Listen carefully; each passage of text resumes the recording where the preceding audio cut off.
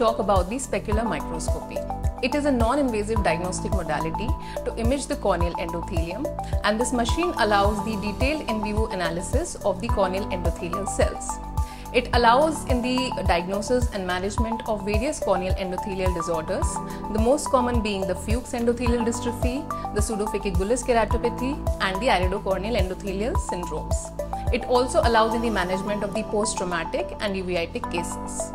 So this machine has a inbuilt morphometry which allows for the analysis of the size, shape, number and density of the endothelial cells. Apart from this, it also allows in the assessment of the donor corneal endothelium prior to the corneal transplantation.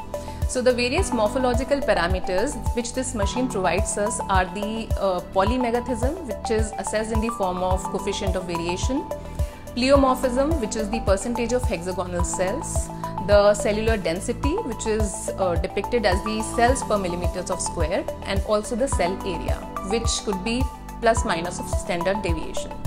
So this machine provides a valuable clinical tool in our daily practice to assess the corneal endothelial health in cases of high risk corneas and to prognosticate the patient accordingly.